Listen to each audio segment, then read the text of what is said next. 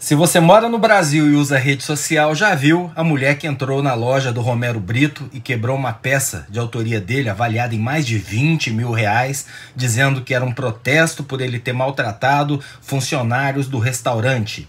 A verdade sobre o caso é assustadora.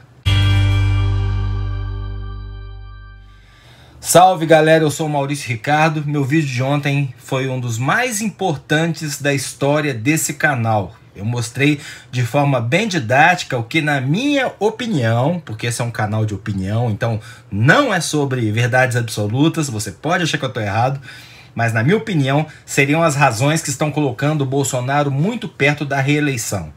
Sem dar carteirada na humildade, eu estou na internet há 20 anos e algumas coisas a gente aprende.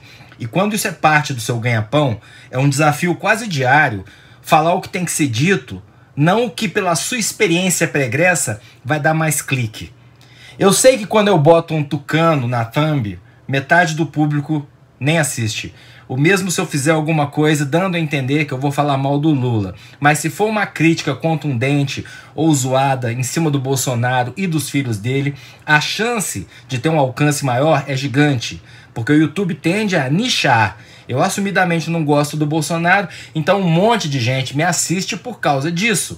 Mesmo discordando às vezes do que eu digo, mesmo me xingando, mesmo nunca tendo me perdoado por eu não ter ido votar no segundo turno, embora eu já tenha dito aqui que me arrependo, não levei a sério, errei, perdão. Eu vou chegar no Romero Brito, não é clickbait, mas esse preâmbulo é importante.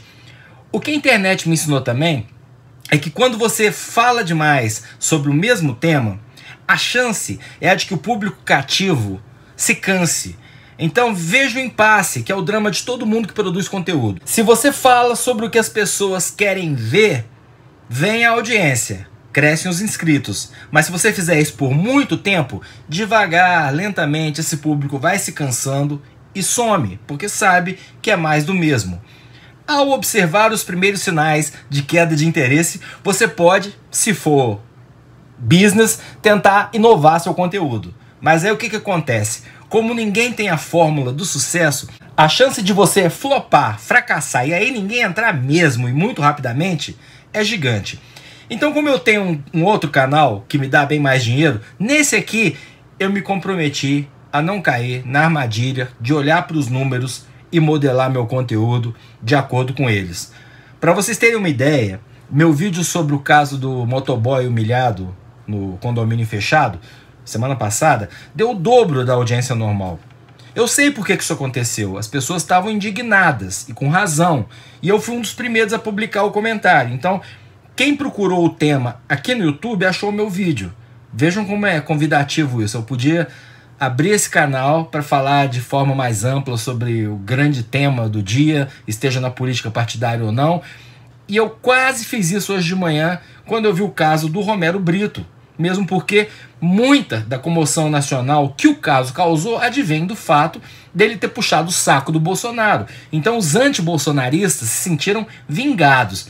Mas quando eu cheguei aqui, já tinha um vídeo muito bom do Henry Bugalho que não só descreveu o fato, como ainda fez uma análise brilhante, como filósofo que ele é, com especial interesse nas artes, sobre esse negócio de destruir obra artística, o que é arte e etc. Mas o que me deixou embasbacado no caso do Romero Brito é que mesmo agora seria impossível para mim fazer um vídeo factual, um vídeo que falasse sobre o ocorrido mesmo, para esclarecer para vocês, porque mesmo tendo sido um dos temas mais procurados nas redes sociais, mesmo com o post original do vídeo tendo atingido milhões de visualizações e mesmo com o caso tendo sido repercutido pelo UOL, pelo G1, por todos os outros órgãos de imprensa grandes, agora 18 horas no momento que eu estou gravando esse vídeo, tudo o que se sabe sobre o caso é exatamente o que foi postado há um dia por uma funcionária ou ex-funcionária do Romero Brito lá nos Estados Unidos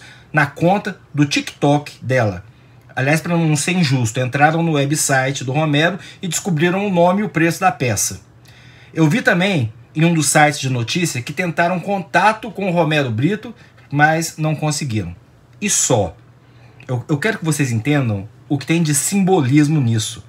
Toda a matéria, amplamente repercutida, se baseia em dois posts de, de TikTok de uma pessoa que não deu entrevista. Um dos protagonistas do caso, Romero Brito, não se pronunciou. Ninguém conseguiu até agora revelar o nome da tal dona, ou seria gerente do restaurante que teve seus funcionários, ou seria um funcionário maltratado pelo artista. Enfim, a matéria que está na capa do G1 bota um monte de meme, de reações, mas não nos dá informações suficientes para a gente saber o que interessa. A história é mesmo aquela? Quando aconteceu? O que teria feito o Romero? E se for uma ação de marketing? A conclusão que eu chego é de que ou a imprensa está tão pobre de recursos que não consegue checar um fato, ou preguiçosamente se transformou numa espécie de curadora de material produzido pelo próprio usuário, já que todo mundo tem câmera de celular e rede social. Romero Brito é um dos mais famosos artistas plásticos brasileiros, gostando-se ou não do que ele faz, sendo ou não bolsominion. O ato de uma pessoa quebrar uma obra na cara dele é indiscutivelmente notícia eu tenho certeza de que a pauta pro Fantástico vai estar tá lá domingo. Tô até vendo o fundo cheio de obra colorida, né, do, do Romero, e o Tadeu Schmidt contando. Um incidente na loja do artista plástico Romero Brito movimentou a internet essa semana. E aí sim, vão mostrar tudo tal. Mas hoje, depois de 24 horas e do massivo interesse do público, tudo que a gente tem de fonte é um post de TikTok. E isso é assustador, e remete ao meu vídeo de ontem. Desculpem, onde eu sustento que leva qualquer eleição daqui para frente no Brasil e no mundo quem souber controlar essas ferramentas de interação. Quando a imprensa se baseia no TikTok já tá bom, ela chega a ser até irresponsável. Porque com todo respeito à moça que postou, precisamos de fontes confiáveis. É uma notícia, especialmente para mim que sou jornalista old school. Deveria ter no lead na abertura da matéria, as respostas para as perguntas básicas: quem, quando, onde, como, por quê. Não adianta botar na manchete a volta do Queiroz à prisão ou revelar no Jornal Nacional os rolos da fantástica loja de chocolate do Flávio, porque usando recursos como Twitter, TikTok, Insta, Facebook e WhatsApp, o presidente está construindo uma narrativa repleta de fake news e manipulações que vão acabar reelegendo ele. E é isso que eu alertei no vídeo de ontem.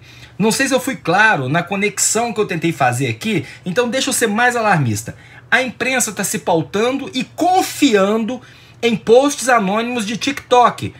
Se ela está fazendo isso, imagina o público em geral. E pior, se ela está fazendo isso e se sujeitando a divulgar uma peça de marketing, não estou dizendo que é o caso do Romero, mas bem poderia, como sendo realidade, como ela pode se defender contra o uso mal intencionado e criminoso que os políticos fazem da internet?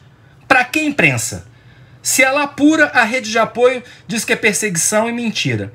Se ela, ao invés de em cima desse tipo de notícia espontânea de TikTok, para dar seu aval ou negá-la, simplesmente reproduz, sem falar com os protagonistas, por que as pessoas vão procurar a notícia em vez de apenas se satisfazer com o próprio TikTok? Gente, isso tudo é muito sério. Espero que vocês me entendam. Eu sou Maurício Ricardo, inscreva-se no meu canal, ative o sininho, dê like ou dislike, seu comentário é muito importante. Estamos no meio de uma pandemia, eu sempre sou muito grato a todos os profissionais de saúde e a quem está trabalhando. Mas se você tem que sair de casa, use máscara. Não tendo, fique em casa. É isso.